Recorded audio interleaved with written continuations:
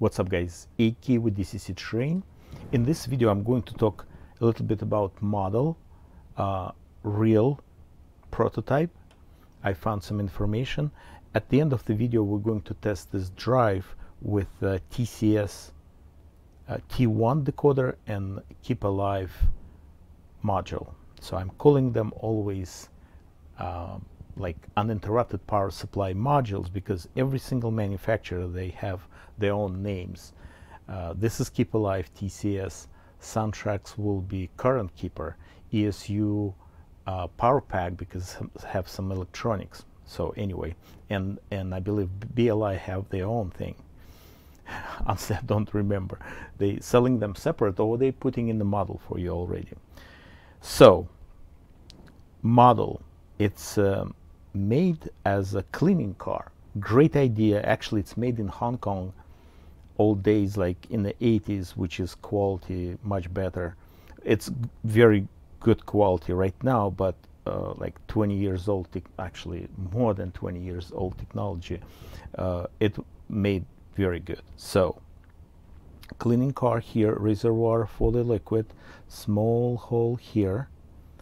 Um, that kind of material thing so you can exchange it as well.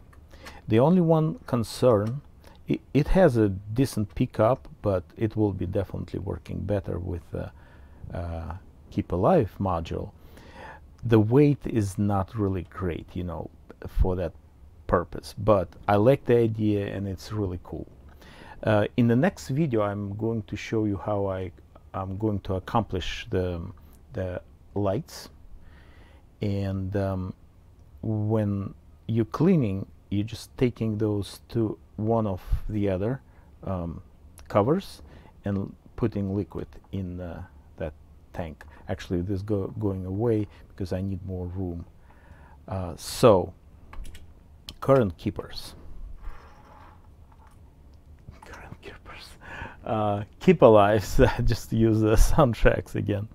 Um, the original decoder doesn't have the wire, but all decoders from 2012 TCS ready for uh, adding that keep alive module.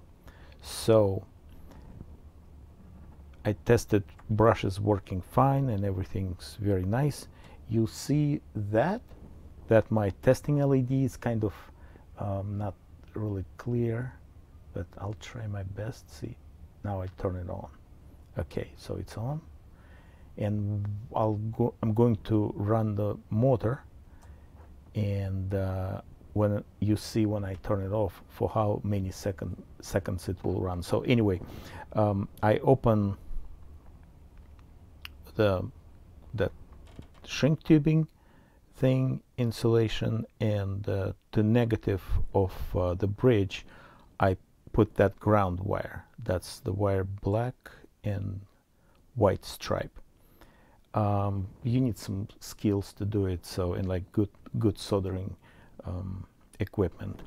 Uh, the newer decoders already again uh, going with those, coming with those wires. So let's start it. I'm using Lenz system speed step one. I didn't adjust any acceleration or deceleration but uh, again I have a power and on the first speed step.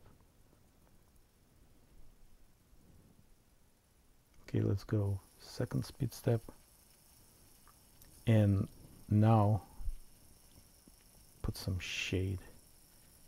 Oops. Yes like that.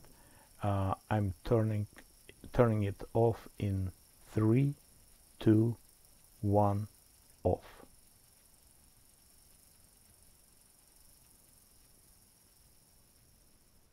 So it of course it's no um, load, but it will run over uh, not powered frog or like really bad something on the um, on the layout, uh, but bad spots. So that will be all for today. Thanks for watching, supporting business. If you would like support channel, there is a link to DCC Train membership. Thanks again and have a good one. Bye bye.